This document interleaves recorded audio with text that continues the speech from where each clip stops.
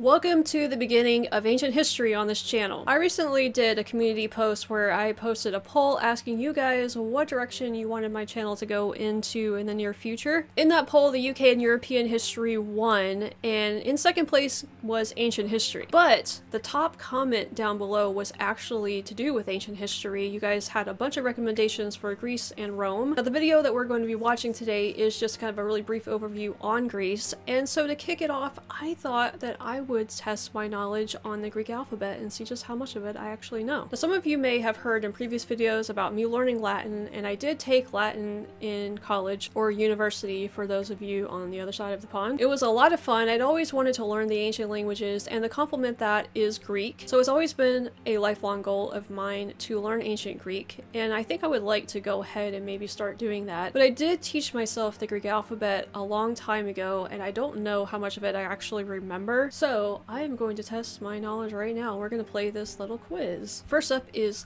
Phi. The little P ones always get me because they all kind of sound the same, but I think Phi is uh, this one right here.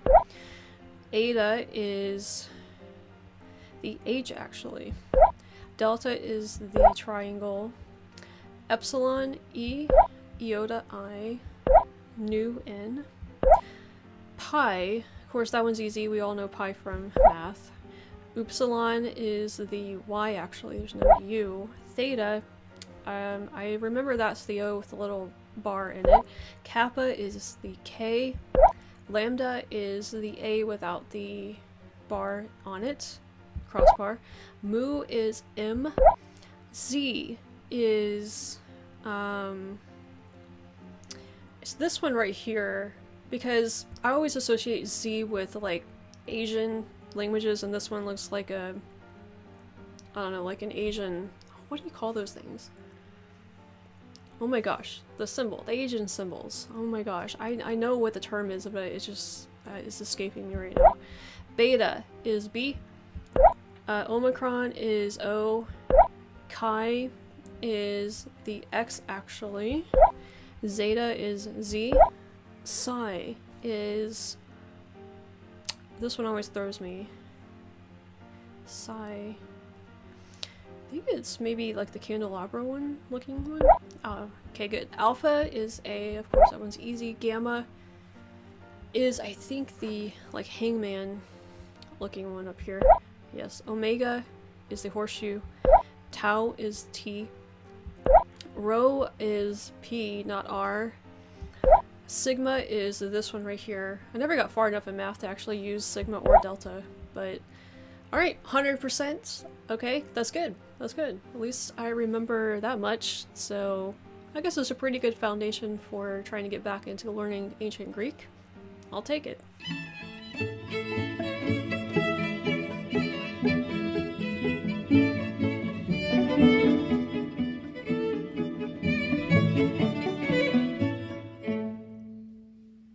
I guess this begins a brand new foray into ancient history and a lot of you guys have wanted me to go back and do this first before I did any other history because it does come first. Now I'm not a complete stranger to the ancient world. When it comes to Greece, I did actually listen to all of the lectures of Yale's ancient Greek history course. So I've already had an overview of ancient Greece once before, but that was several years ago when I listened to all of those lectures. By the way, if you're interested in watching that or listening to it, I'll include the link in the description of this video for you. So I'm sure I'm going to come across a lot of things in this video that we're going to watch today that I have probably heard before. It'll be a bit of a refresher or, you know, just remind me of stuff that I've forgotten about. But I'm sure a lot of it might be brand new to me as well. But there's just something about ancient civilizations that is super fascinating. It's really, really interesting to compare them to where we are today and see a lot of the differences and also a lot of the similarities. That's what really intrigues me is is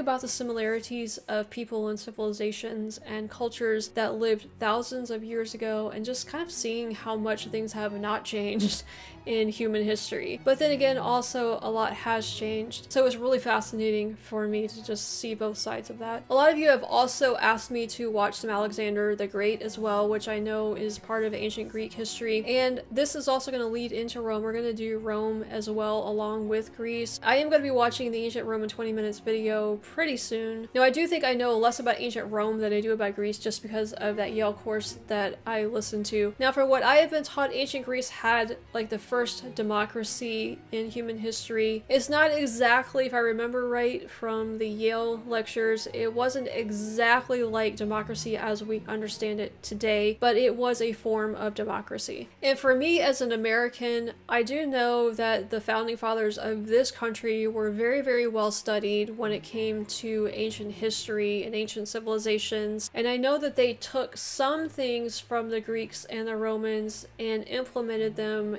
into our government today. But I think the Greeks and the Romans had even more of an impact over in other countries in Europe, obviously, because that's where they're located. And you know, I know the Roman Empire did invade other countries in Europe, and I've learned even more recently about their presence in the UK. So you guys over there in Europe have a much stronger connection to these ancient civilizations than we do here in the US. Some of our stuff maybe came directly from them, but I think it's more of like an indirect connection. So anyway, that's enough rambling for now. We're just going to take a look at ancient Greece in 18 minutes. Obviously, 18 minutes is way too short of a time to learn really about Greece, but this is going to be a nice overview, a nice little review maybe for me. So let's go ahead and do it.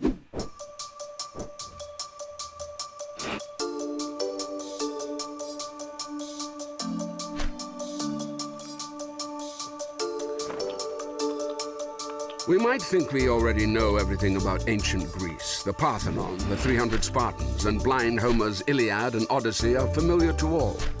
Yet there were far more than 300 Spartans. The Parthenon was actually built as a kind of central bank, and no such unified state as ancient Greece with Athens as its capital ever existed.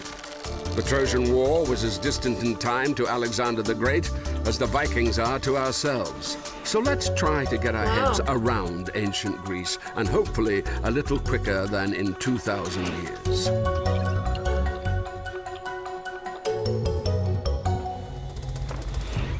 3,716 years ago, the pyramids of Egypt were already standing, and Babylon was the world. I just have to say that the city that I grew up in is on this map currently. Well, not the actual city, but it's named after the one that's that's on this map. Pyramids of Egypt were already standing, and Babylon was the world's first megapolis, home to a prototype of the Tower of Babel.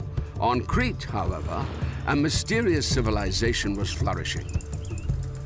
It had three-storied palaces, and all this with no defenses. The Cretans apparently led a relatively peaceful life, admiring flowers, blue monkeys, and beautiful women, walked around topless, while the men preferred loincloths or skirts. The Cretans had a navy and their own writing system, and nobody has yet succeeded in deciphering them. Until one day, on the island of Thera, the modern-day wedding paradise of Santorini, all this ended in the greatest volcanic eruption in European history.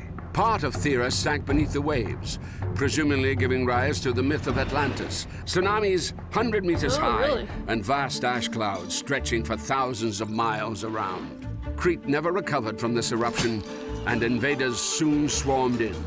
The once peaceful island then filled with bronze weapons and tablets written in a new, strange language, which turned out to be the earliest known form of Greek, spoken by warlike tribes, which had settled the nearby Greek mainland, building such cities as Thebes, Athens, Mycenae, and Pylos.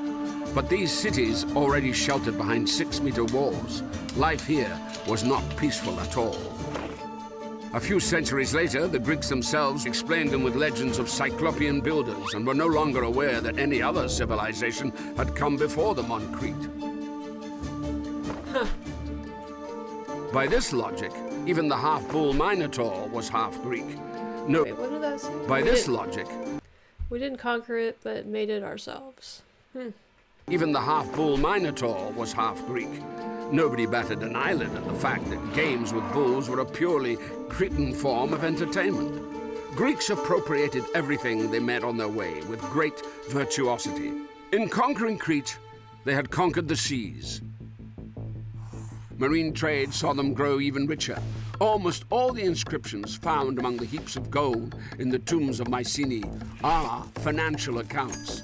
Mycenae took the lead in the fight against Troy in Homer's Iliad, As recently as 150 years ago, this story was considered a fairy tale until a millionaire and amateur archaeologist, Heinrich Schliemann, excavated Mycenae and Troy, a replica of the legendary Trojan horse, now stands here. Archaeologists have indeed found traces of fire and destructions at Troy, but this was accompanied by the decline of virtually all regional settlements. Unceasing attacks by barbarian tribes turned the whole Mediterranean into a war zone.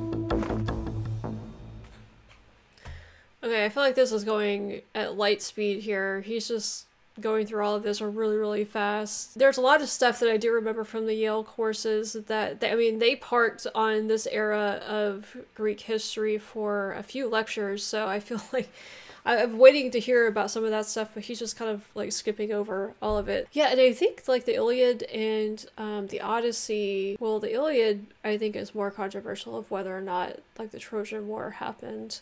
I have read both of them before, and I prefer the Iliad actually to the Odyssey. I know most people like the Odyssey better, but I enjoy the Iliad way more than the Odyssey. Maybe because it has more to do with like the military, and the Odyssey is more just like these I don't know, sound feels like mythical adventures that happen. It's a little less grounded in reality. I feel like so. I just really really enjoyed the the Iliad though. The next 400 years were a dark age. Literacy fell into oblivion, leaving us with nothing this. to read about the events then taking place. Fortunately, what we do have is Homer. Everybody has heard about the blind poet, the author of the Iliad and the Odyssey. In actual fact, we don't know what Homer looked like, or when he lived, whether he was one man or many. But even though the Iliad and Odyssey were written down after the Dark Ages, the daily routines of its characters take us right back to this time. Odysseus, for instance, was only king by virtue of his larger flocks of pigs and goats. His father slept on the ground in ashes with his slaves. Homer's characters were illiterate and used heads of cattle in place of money, a far cry from Crete and Mycenae with their three-storied palaces. What had happened? The Mycenaean civilization was destroyed by the Dorians, who, though Greek, were totally savage. The earlier population either hid in the mountains or fled to the east. Of all the achievements of the previous civilization, the Dorians left only the essentials, the sailing ship and the potter's wheel. It took a further four centuries for them to start adding the most primitive depictions of animals and people. At around the same time, the turn of the 9th and 8th centuries BC, the Greeks in Ionia borrowed a completely new alphabet from their Phoenician neighbors. This bore little resemblance to the linear writing styles of Crete and Mycenae. Do you recognize the modern Greek letters? The fog of dark ages had started to clear. Of course I recognize that, we just did that. Only here do we begin to recognize ancient Greece the country that never actually existed. This was no state with an established border or capital, but rather a multitude of distinct like and completely states, right? independent cities, polises. Yeah. How did this come about? Greece is a land divided by sea and mountains into separate little parts, of which only a handful was suitable for agriculture. Even grain had to be imported. But why not grow it yourself, over there, across the sea? Thus, the great colonization began. If the first historians are to be believed, Miletus alone founded 90 colonies. The heel of the Italian boot was colonized too, followed by the alphabet that would form the basis for Latin and take over the world. Greek civilization Why is this giving me like British Empire vibes? Because he was talking about the sea trade and how they got, you know, really rich off of the sea trade, and then he's talking about colonization here and how they're just, I don't know, it just, it just reminds me of the, the British Empire. Well, probably just any empire really throughout history, but I think it's the sea trade thing is the thing that um, stuck out to me as like, oh, it's kind of like the British Empire, you know, thousands of years later. form the basis for Latin and take over the world. Greek civilization spread from the modern day Rostov-on-Don to Marseille, laying the foundations of the French wine industry. Fragments of amphorae scattered from Gibraltar to Georgia. These were containers for grain and wine. The latter was diluted with water in proportions of one to three. Only barbarians would drink it neat. For trading purposes, coins appeared. Like the alphabet, these too were borrowed from their neighbors.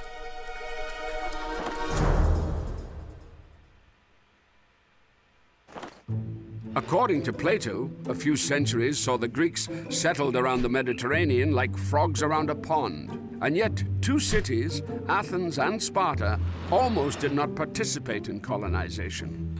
The Spartans descended from the warlike Dorians that had destroyed the Mycenaean civilization. They solved the land issue by conquering their neighbors in the broad, fertile region of Messenia. The locals were declared helots, something midway between slaves and serfs, and greatly outnumbered the Spartans proper. Sparta transformed from an ordinary polis into a military camp, whose main task was the prevention of any uprising. Things were quite different in Athens. Land hunger there had forced the aristocracy and the people to come to terms. And from this, democracy was born. But first, the tyrants took power. A Greek tyrant did not necessarily terrorize people, rather the opposite. Typically, he was an aristocrat who had quarreled with his peers, holding out promises of a better life. He used the common people's support to seize power by force. From then on, all his energies were focused on retaining power. The tyrant therefore made no reforms and simply drove any rival aristocrats from the polis. To divert the attention of the populace, tyrants introduced and fostered new festivals and cults. The dissatisfied could perish in the brazen bull. But you can't roast everyone. The tyrants were overthrown, and the suppressed aristocracy attempted to negotiate with the people, giving birth to Greek democracy. If an ancient Greek were to see modern democracy, he would just say one word, oligarchy. Ancient democracy was direct, with no representatives. If a polis had 6,000 citizens, they could all freely participate in the assembly. Admittedly, the number of citizens was less than a quarter of all residents, excluding slaves, women, and the migrant workers called metics. Yeah, all of this is coming By the middle of the 6th century, the Ionian cities were most advanced, eclipsing Athens and Sparta. They were the first to master such Eastern innovations as the alphabet, coinage, mathematics, naval fleets, and complex trade logistics. Meanwhile, a sudden threat appeared to their rear, the vast Persian Empire. Miletus still hoped to preserve its independence, and with Athenian aid attempted to resist. Unfortunately, this was in vain, and the Persians torched the city and pressed on. Their attempts to subdue Greece lasted 20 years. We owe our knowledge of this to the first historian, Herodotus. According to his account, as many Greeks fought for the Persians as supported Athens and Sparta. How did they win? The first reason was military innovation. At the Battle of Marathon, the Greeks used the phalanx, a body of troops fighting in close formation. The Persians allegedly lost 6,400 men, and the Athenians a mere 192, plus the messenger who ran the 42,192 meters to Athens to announce the victory, after which he dropped dead. The second reason was already becoming a meme. At the narrow coastal pass of Thermopylae, King Leonidas led the 300 Spartans, who held back hundreds and thousands of Persians for three days. Sure, a few thousand Greeks from other cities and their helot subjects were a big help, yet the Spartan spirit was key. Not for nothing did they live in barracks, even during times of peace. And the third reason was the fleet. Several years prior to the invasion, silver deposits had been found near Athens. This windfall might have been spent on anything, but it was decided to put it towards the construction of 200 triremes, fast and maneuverable warships with three rows of oars. Thanks to this new naval force, the Greeks broke the Persians in a decisive naval battle. A counteroffensive began. The Greeks of Sicily defeated their old rival, Carthage. A scattered array of Sorry, I just gotta stop it here. He's just he's just going really fast. Um, I'd really be interested in learning about. Of course, I've never studied warfare during this time. I mean, I've heard of the battles. You know, in that Yale course, they talked about it and how the soldiers would stand. You know, shoulder to shoulder with the shields and everything. The naval battles, I don't recall them talking about that very much. But how in the world do you have a naval battle back in these days? You just throw spears at each other? I'd be interested to know more about that. Greeks of Sicily defeated their old rival, Carthage. A scattered array of polises thus defended the territory in which classical Greek culture was born.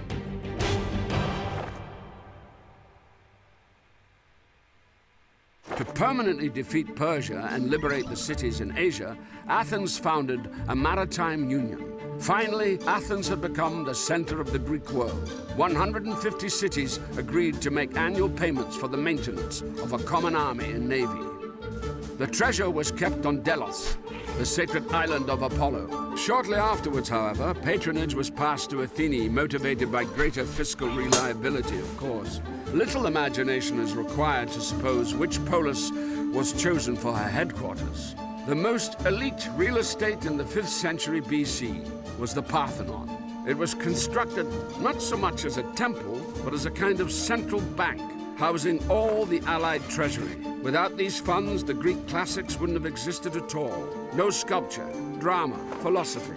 The strategist and orator Pericles became the head of this new financial center. He concluded a 30 years peace with Sparta, restored the Acropolis that had been sacked by the Persians, and extended fortress walls to the city harbor. This was rebuilt to a grid layout, a forerunner to New York. While the sculptor Phidias was immortalizing Greece in stone, the philosopher Anaxagoras expressed an outrageous idea that the sun was not the god Helios, but a burning body equal in size to Peloponnese. A whole great culture was created in half a century. See, this is the stuff also that I'm really, really interested in is the science and the math that all of these ancient civilizations were able to figure out back then. That's what that really intrigues me as well. And I know that the Greeks were not the only ones that did it. I know that the, um, you know, the Egyptians and some of the more Asian cultures had a huge part in that as well. Sparta and its allies grew jealous of Athens' prosperity. A Cold War had smoldered between them ever since the victory over the Persians, and things warmed up in 431 BC. The Spartans and their allies besieged impregnable Athens. Its inhabitants took cover behind the walls. The grain supply from Africa was cut off, and those shipments that made it through brought either typhus or the plague. Even Pericles himself perished.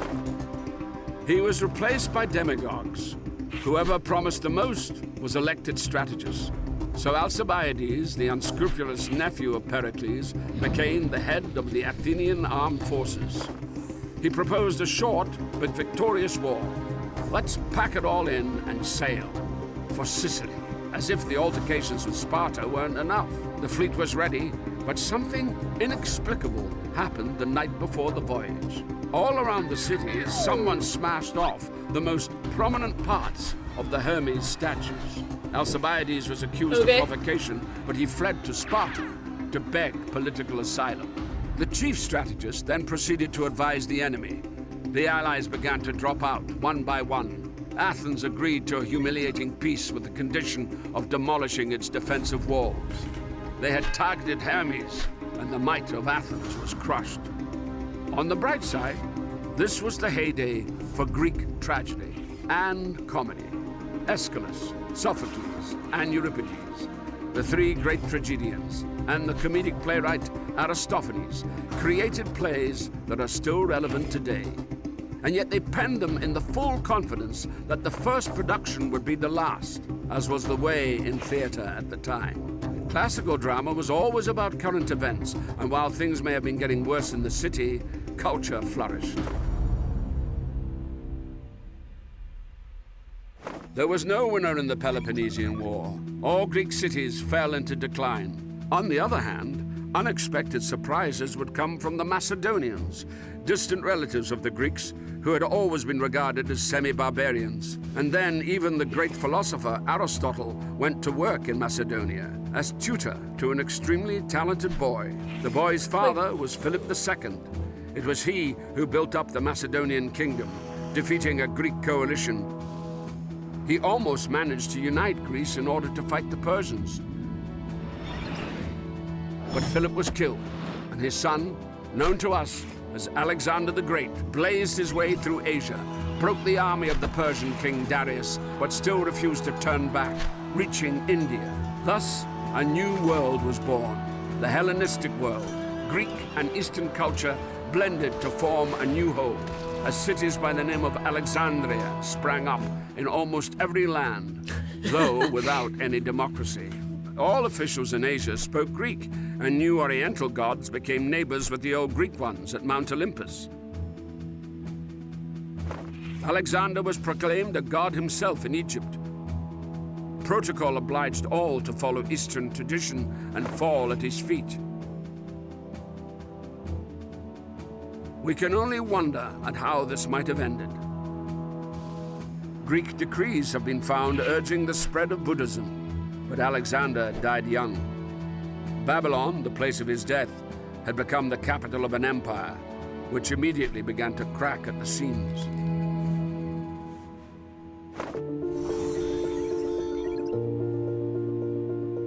While the successors of Alexander warred with one another, a new ambitious power was growing in the west. In 146 BC, the Romans conquered Greece, and in 30 BC, they conquered the last stronghold of Hellenism, Egypt. But Greek culture was victorious even here. Spread by the Romans, it finally conquered the world. Romans began to read the Iliad and Odyssey in Greek, followed by the Greek New Testament too.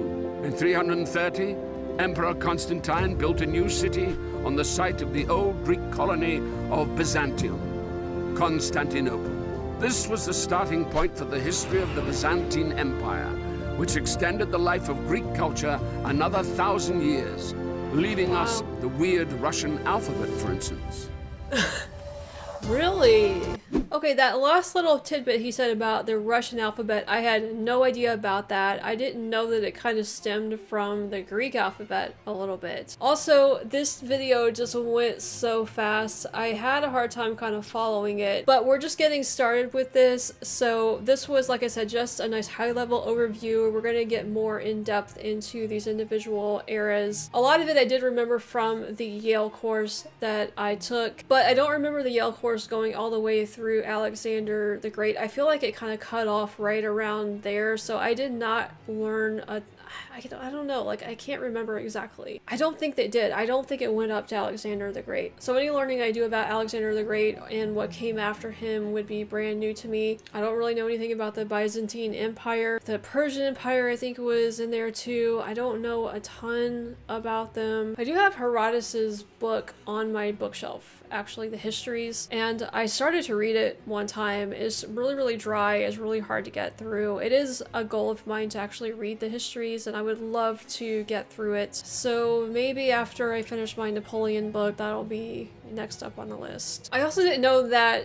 America got its like grid layout for its cities based on these Greek cities. But yeah, most of our cities are very, very grid based. They're very planned out. They're not like the cities in Europe where it's just kind of like chaotic. So I guess that is one thing that America directly inherited from the Greeks. So maybe the Romans did that too, I'm not sure. But watching this just got me really, really excited. There were just so many little tidbits in there that I was like, oh man, I can't wait to learn more about that. So, oh man, this is going to be so much fun to get into and just learn about these ancient civilizations. Like I said, they're just such a mystery because because they were so long ago. It's just so much fun seeing the differences and similarities to us today and just seeing where we got a lot of our modern day stuff from. A lot of our stuff that we have today is based on things from these ancient civilizations. I can't wait to get into like the science and the math and you know all of like the Aristotle and like all of his astronomy. All of man, it's just gonna be so much fun. I hope you're looking forward to this just as much as I am. If there are any more good videos on YouTube or just anywhere on the internet. It doesn't really have to be on YouTube. I can get them from other places as well. But if there are other videos with these subjects, let me know where I can find them. A lot of you have already mentioned the Alexander the Great series. We're going to get to that. But yeah, just let me know where all of the best videos are on all of these different subjects. Roger here and I hope that you come along on this journey with us. Also, if you know a hat that he can wear, you know, for these videos, he loves wearing his hats. So for the Greek videos, let us know which one would be good. Maybe like a wreath? Before you go, make sure that you like and subscribe if you enjoyed this video, and you can also follow me on social media if you are so inclined. I answer DMs there too if you want to get in touch with me directly. Stay tuned for more ancient history. We got a ton,